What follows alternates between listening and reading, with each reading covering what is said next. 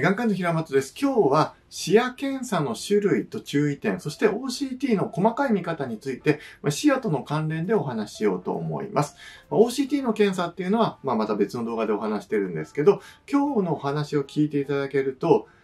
視野は悪くなってないって主治医が言ってるのに、なんか見えなくなってきたっていう患者さん結構よくいるんですね。で、これがなんでなのか。で、その原因の一つが結構このことがあるので、まあ、最後まで聞いていただければと思います。じゃあ、その原因とは何なのか。つまり、あなたは見えないって言ってるけど、主治医は全然変わってない。この一番よくあるパターンは、視野検査って30度の視野を一般的にするんですよ。まあ、24度か30度なんですけど。で、視野って、まあ、あの、本当は180度とか、まあ、要は広い範囲の視野が見えているわけですけど、そのうちの一部をえ視野検査として真ん中はチェックしてるんです。えっ、ー、と、こんな感じで、え、鼻側が60度、耳側が100度みたいな感じの、この見える範囲があって、その真ん中を取り出してる。なんでこの真ん中の視野をチェックしてるかっていうと、30度の視野の範囲に視野の異常が出やすいからなんですね。それをチェックしてあげれば、病気を、えー、発見できるし、病気の執行がわかりやすい。でも、よくあるのは、30度の視野検査っていうのは30度で、まあ、ある程度のポイントをチェックします。で、10度、つまり角度でね、分度器でいう30度、10度ってあるじゃないですか。10度の真ん中の範囲、ま、30度と10度ってあるわけですよ。この10度が見づらくなると、ちょっとだとしても結構、なんとかな、見づらいっていう実感が出るんですよ。じゃあ、視力が落ちるかっていうと、視力は1点に見えるんですよ。ここが結構注意点で、まあ、一般だと視力が悪くなるイコール目が見えなくなると同じだと思うじゃないですか。でも、目が見えなくなるって結構広い範囲のことを言ってて、例えば視力は1.2なんだけれども、目が乾いて見づらい。これも目が見えなくなる方ですよね。視力は1.2なんだけれども、えー、例えば歪んで見える。黄斑変性とかね。これも視力は1.2。ただ見えにくくはなっているわけですね。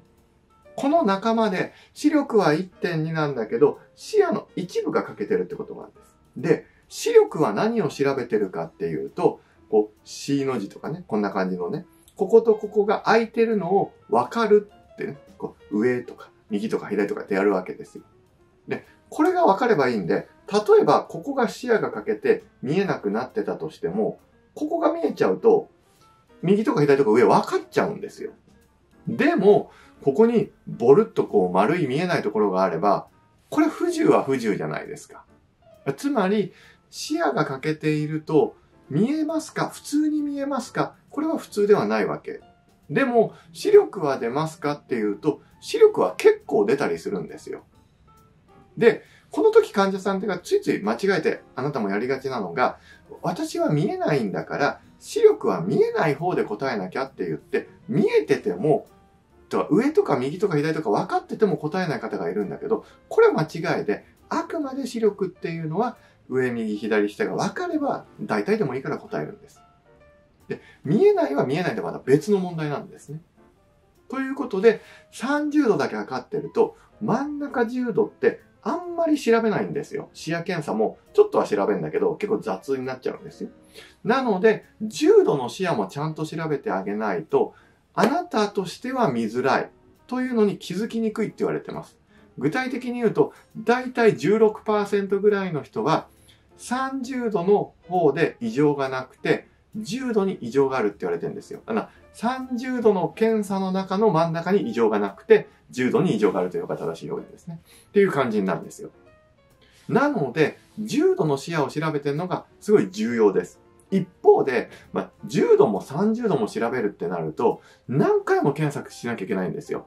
大変なので、ある程度理解がある患者さんや、進行している患者さんにはそれをやるんですけど、初期の患者さんには、まあ、最近出てきた方法として、24の 2C っていう中心も調べながら周辺もザザッと調べる検査っていうのが出てきてます。これはあくまで進行を細かく見るっていうよりは、全体の視野を調べるとき、中心も欠けてないかを見るっていう、まあそんな感じの検査です。もう一回言いましょう。一般的に緑内障の視野検査をするのは、だいたい30度、30の2とか、24度、24の2の、だいたいどっちかなんですよ。で、これだと真ん中の見づらさを見逃しちゃうことがあって、これを10度、10の2とかっていう検査になります。ただ、この2つやるのめんどくさいなって場合は、24の2、つまり24度の全体の範囲プラス C、C ってセントラル、真ん中ってことですけど、を調べるって検査がある。この3つがあるんですね。24度または30度の周辺、えっと、10度の中心、両方愛の子の24の 2C っていうのが一般的な性的視野検査ってもんです。性的視野検査って何かっていうと、機械がやってくれるもの。なんかこう、顎乗せて、ピッて光って、カコッカコってボタンを押す。あ、あの検査が視野検査の、いわゆる性的視野検査。で、これでも、真ん中30度なんですよ。つまり、真ん中30度は見えないけど、その周りが見えてる人もいるわけですね。それを調べるのが、動的視野検査って言って、まあ、検査技師がこうやって光を出してって、あ、見える、見えないってボタンを押す検査になります。で、この場合は、まあ、る程度、まあ、検査能力がある検査技師がいたりしないとちょっとできないっていう問題点があるので、これはある施設とない施設があります。これどんな感じの機械になるのかっていうと、これが性的視野検査。これが動的視野検査。この黒いのがボンボン動いて光ってる、こんな感じになります。あの、この本持っている方だと、えっ、ー、と、133ページにこれがあるので、ちょっと見ていただければと思うんです。なので、大切なのは24度または30度と10度の両方調べることが結構重要であるってことです。で、えっ、ー、と、それでもダメな場合、あの、もっと広い範囲を調べるっていうことがある。で、じゃあ、視野検査の時の検査の押し方あと、視野検査と OCT ってどう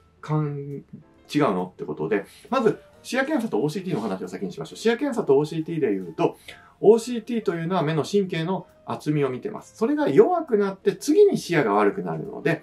将来視野が悪くなるのをある程度先行的に見ることができます。これがメリットです。ただ、デメリットとしては多少ブラブレとか、強度禁止とか、末期の人だとちょっと分かりにくいっていうところがデメリットとしてあります。で、えっと、これはうんと、私の母の、例えばですね、左目の神経で見ると、ここに赤い帯があるのわかりますこれ。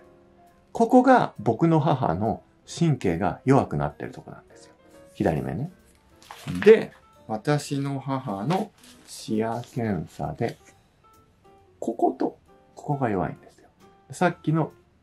こう。で、ちなみに、下の神経が弱くなると、ここが悪くなる。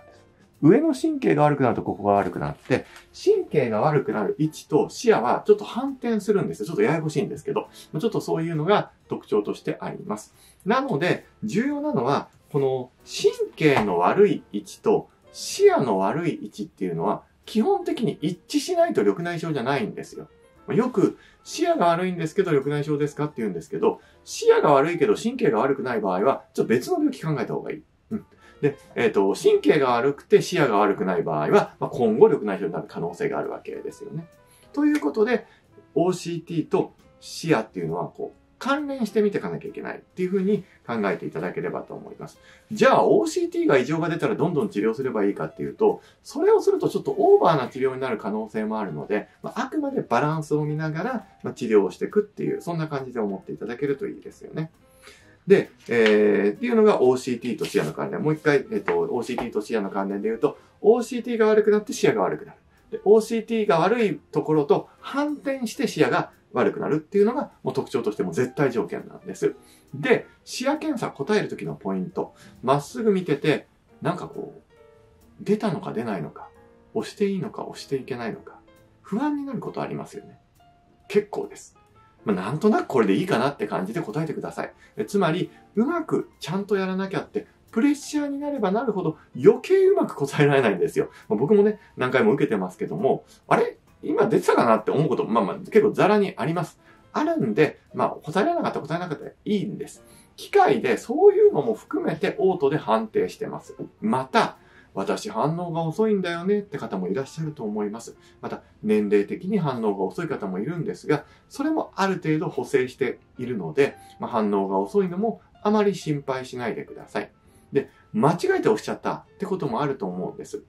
もちろん間違えて押しすぎちゃダメですよ。押しすぎちゃダメなんだけれども、間違えて押しちゃうっていうのも別に構わないので、あ、押しちゃったと思って引きずらないで、もう次の検査に移っていっていただければと思います。あと、こうリズミカルにだんだんピッピって出てくるから、そのリズムに合わせてボタンを押しちゃいがちなんだけど、たまにフェイクを入れます。なので、ピッて言って、本当はいつもだったら光が出てんだけど、あえて出さないとか、そういうタイミングがありますので、騙されないようにと言いますか、まあ、そういうフェイクも入れてるっていうのは知っていただけるといいかなっていうふうに思います。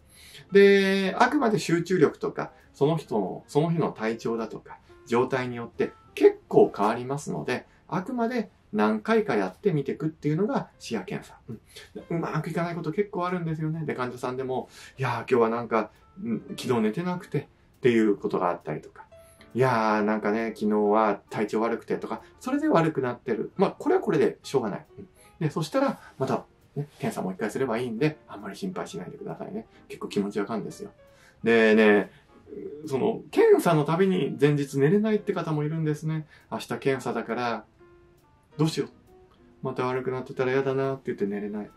寝れないから、検査が集中できない。だから結果視野の検査が悪くなっちゃうみたいなことがあるんですけど、もうそれそれでしょうがないので、もうね、そういうもんだと思っても検査を受けてくださって結構ですね。その中で経過を見ていくっていうことしかできないので、まあ、あくまであんまりストレスに思いすぎず検査は受けていただければなっていうふうに思います。で、今日の話をまとめると、まあ、全体の視野の検査としては30度か24度と10度。で、その合いの子、24の C っていうのがあります。基本的には30度、24度だけでやってるクリニックも多いんですが、10度もちゃんと調べてもらってください。そして、視野も動的視野、もうちょっと広いのもあります。そして、えー、OCT、神経の賭けと視野っていうのは反転して一緒になるのが基本なので、えー、OCT には何にも問題ない。神経は問題ないけど視野が欠損している場合は、それで緑内障以外のことがありますということですね。そして、えー、最後のこととして、検査。検査はストレスだし、嫌だと思います。嫌なんだけど、まあ、できる限りやっぱやってほしいんですね。で、あの、気楽な気持ちで間違えていい。大体でやって、まあ、何回かやって、あの、ある程度の方向が出せればっていうぐらいの気持ちでやっていただければと思います。まあ、こんな感じで、緑内障の情報をアップしていきます。今日のお話としては、えっ、ー、と、視野検査には種類がありますかっていう、132、133ページのところをちょっと深掘りしてお話してるんで、あの、この、え自分でできる人生が変わる緑内障の新常識をお持ちの方は、そのページを見ていただければと思います。これ、概要欄にリンクがあるので、まあ、ぜひネットまたは、あの、お近くの書店で購入いただければと思います。今日の話がいいなと思ったら、ぜひ高評価ボタンを押してくださればと思います。よろしくお願いします。